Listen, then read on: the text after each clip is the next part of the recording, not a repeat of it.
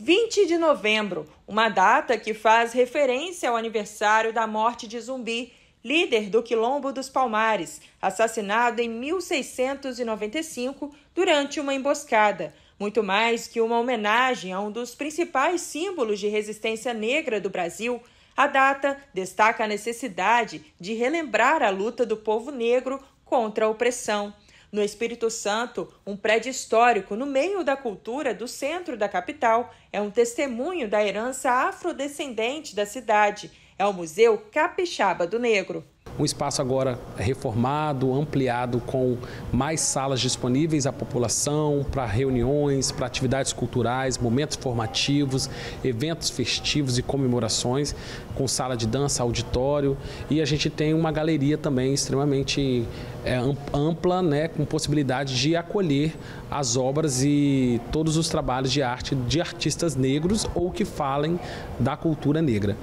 Seus corredores estão repletos de história e significados, prontos para receber visitantes. O Bucane, durante todo o ano, ele recebe visita de escolas, grupos né, culturais, grupos sociais, equipamentos públicos com seus usuários de atendimento. No próximo dia 20 de novembro é celebrado em todo o país o Dia da Consciência Negra. Para comemorar a data, o Museu Capixaba do Negro, que completou 30 anos agora em 2023, organizou uma programação especial. É o projeto Novembro Negro no Mucane onde a gente vai ter várias atividades ao longo do mês, como atividades formativas, atividades culturais, nós vamos ter shows aqui, vamos ter apresentações de teatro para escolas, para a sociedade de modo geral, para as pessoas que tenham interesse. Só entrar no nosso Instagram, aqui do Mucane, para poder verificar nossa programação, que está bem bacana e vai contemplar todos os gostos e todas as pessoas. O local também recebe a exposição Protocolos para a Desconstrução do Corpo, de Giovanni Lima.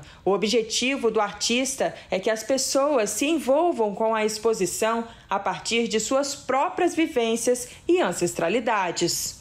Pensar como o corpo da população afro-brasileira se constrói a partir dos processos que são ancestrais. E aí, nessa exposição especificamente, eu lido com a memória da minha avó paterna e dos processos da mesa de produzir a comida, de preparar a comida e de alimentar a família à mesa. Então a exposição parte do princípio de pensar ações que eu estou chamando de protocolos para construir ou desconstruir corpo. Então tem uma mesa com uma carta, um fragmento de uma carta para minha avó paterna, tem um jantar que eu servi para pessoas do meu contexto, tem a própria carne com gordura e é, carne de porco e tem processos de próteses construídos a partir de cola. Então eu estou pensando a pele, eu estou pensando o corpo, pensando sobretudo a minha avó, que é essa ancestral negra. Ela é muito importante numa perspectiva de pensar as ancestralidades negras, porque é uma memória comum para todas as pessoas afro-brasileiras essa figura materna, essa figura matriarcal.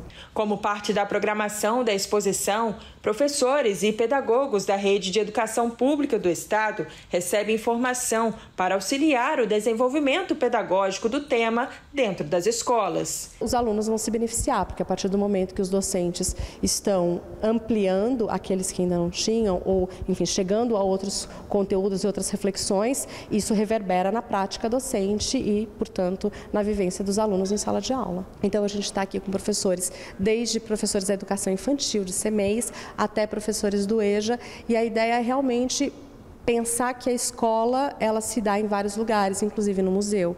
E a produção da Giovanni é uma produção bastante didática, mas também bastante poética. E então a gente está aqui elaborando algumas questões que passam por questões étnico-raciais, que passam por questões de colonialidade, de enfrentamentos à hegemonia, portanto de praxes antirracistas. E eu estou um pouco nesse lugar de educadora.